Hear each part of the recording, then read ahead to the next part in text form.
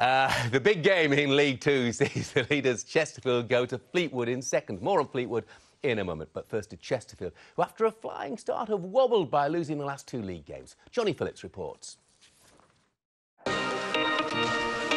This weekend, we visited the club that's led the way in League Two. Last weekend aside, it's been a great start for Chesterfield. Overall, you must be just made up with the way it's gone. Overall means we're not doing well at the minute, John. Overall, I like the words, very well chosen. Overall means we're having a bad time, but we're top. Well, I wanted to come here and say how great it was, and then I saw that result at the weekend, and I thought maybe, maybe. Which one? All right, so it was a pretty lame attempt to skirt around the elephant in the room. Just what exactly happened against Morecambe last Saturday? 3 0 up at half time, they went to pieces in the second half. We got beaten by a Morecambe team that, make no bones about it, they're a good side.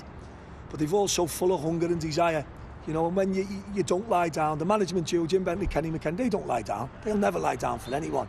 And that, that, that evolves into the team. And unfortunately for us, we thought we'd won the game. We all got taught a harsh lesson, you know, and we take it on the chin and we move on.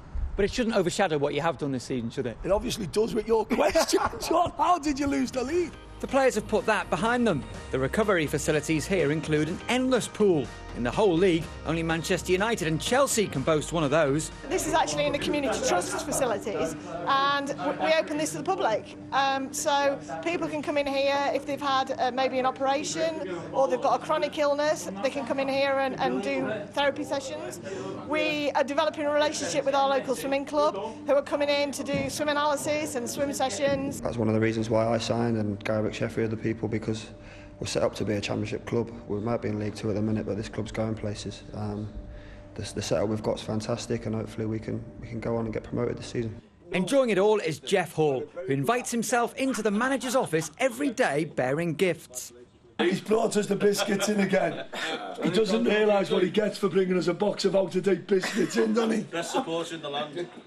They're not out of date, surely, are you? Yeah, 2012 they've got on the box, not 2013. yeah, bet, minty. Bet before 10 to 13. He's been to Buckingham Palace to meet the Queen, so we have to put up with everything now, don't we? That's right, he's just won a Grassroots Hero Award for his work as a matchday attendant, but prefers to talk tactics with the boss. He's in picking the team for Fleetwood Saturday, aren't you?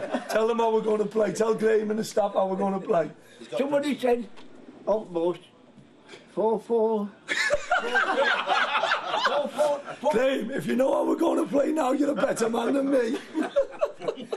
you want to go, you want to play with two up front or something? Never mind that. Somebody, one of members have told me when I went collecting yesterday. What did he tell you? That, uh, he wants to go back to ordinary system. What, what was that? 442? We've become a scalp, um, but that's only due to the way we play.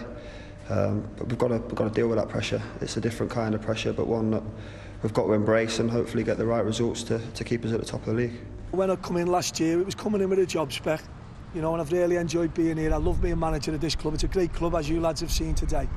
So as I say, September, October, a lot of plaudits get given out about promotions, and there's no such thing. There's no one promoted in October. There's no one relegated. There's a lot, a lot of football to be played for in the league. And in League Two, there's a lot of good sides, a lot of good managers. We've got a long way to go as a club to get where we want to be. But we feel we're on the right path. And we feel if we keep our focus right and everything else around us, that we'll be fine.